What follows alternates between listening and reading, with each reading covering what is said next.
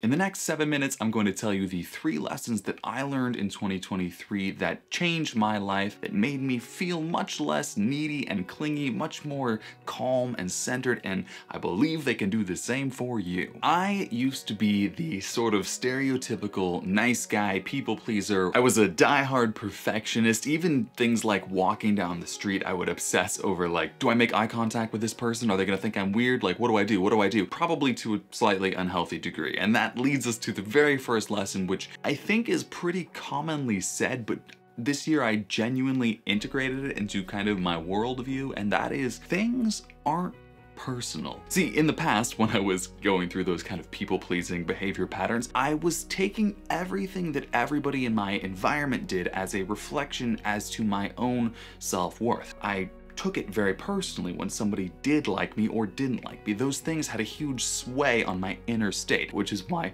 passing people on the street became a little nerve-wracking. Like if they didn't smile back at me or whatever, would that make me feel bad? I don't know. But the truth is that those people are not responsible for our inner state. I have a video about that somewhere up here, you can check it out. So often in life, in fact, in the vast majority of cases, things just aren't personal. If somebody cuts you off in traffic and you get angry, it's not personal. That person cuts off everybody. It's not about you. If your relationship falls apart, or if you don't get a job that you really want, or if somebody rejects you when you're asking them out, even if they're like, ew, don't talk to me. We have a tendency to take those things very personally, but even in the case as the person saying, ew, don't talk to me, that's actually them. That's just the way they are that's not a reflection really on you. The chances are that they probably do that to everybody. But what we tend to do is take those things personally and make a judgment about ourselves often a negative one. But when we step back and see that it's not personal, it's not actually about us. People who reject you, people who let you down, even if they actually act like they want to hurt you,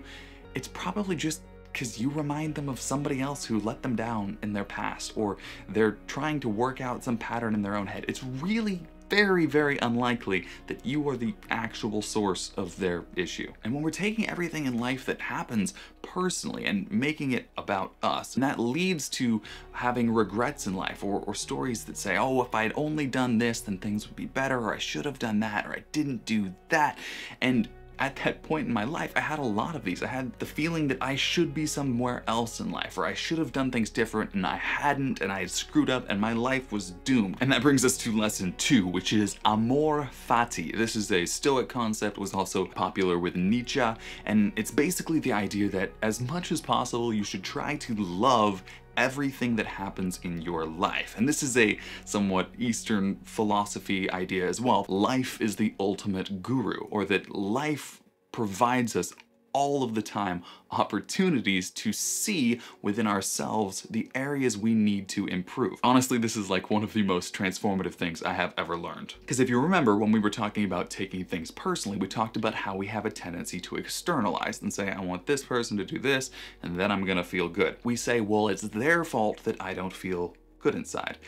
But if we examine that, that is a red flag by life to say, you need to do some work on yourself. What we tend to do very often is we say, no, I'm not the problem, they're the problem. If I'd only had that job, if I've only had that car, if I'd only had that relationship, then I would be happy. This wasn't supposed to happen. I should have been somewhere else. I should have done something else. It wasn't supposed to be like this. We create an alternate reality that doesn't exist in our mind and say, that would have been better. That should have happened instead. We stop interacting fully with our current reality. We stop being wholeheartedly alive, we create an alternate reality we prefer and we reject the life we have. When you have that alternate story about how things could have been, guess what? They couldn't have been that way because they're not. So amor fati is the idea to love your fate, to embrace the life you have and embrace all of those opportunities to learn, even the things you don't maybe like, to see them as necessary. The challenges are challenging because those are the areas you need to grow. It's like, why is it hard for a little kid to ride a bike? Because they don't know how to ride a bike yet. But does that mean they're bad at riding a bike or they should just never ride a bike? Of course not. It just means they need to practice riding a bike. If you're getting your heart broken in relationships, does that mean you should never try another relationship? Does that mean you can never love again? Of course not. Maybe it just means you need practice. It's an area you need to grow. And these areas in life that are revealed through traumatic situations, through challenges, through the things we don't want to do, we don't want to experience, we resist. When we resist them, we don't learn the lesson because we're like the kid who never gets back on the bike. See, I was kind of running fully on autopilot, so I would interact with somebody on the assumption that they were responsible for my internal state and I would do whatever I could to try to make them happy, make them like me, make them like validate me. If they didn't, I would think I did something wrong and take it personally. I would then resist that because I had the imagined version of how things should have been. Oh, I screwed it all up. It was supposed to be different because I was taking all of these things personally and telling myself that meant something fundamental about who I was. I wrote a negative self-concept into my mind and said, well, this is another limitation. This is another chain. Can't do that. I guess I'm bad at that. That brings us to the third and final lesson, which is that you get to choose the meaning that you give to events in your life. The stories we tell ourselves about who we are and our limitations and the reasons we're not good at things, they're just stories. You have the power to interpret these events however you want. If you're not taking them personally, and if you're choosing to love the opportunity to grow in life, if you do that, then you start to see that the meaning you have been giving things on autopilot is not true. And in a way, each of us is kind of living in this personal matrix world where our thoughts are very self-reinforcing and often very limiting and we can restrict our point of view to a very narrow area. If you were to wake up tomorrow with complete amnesia,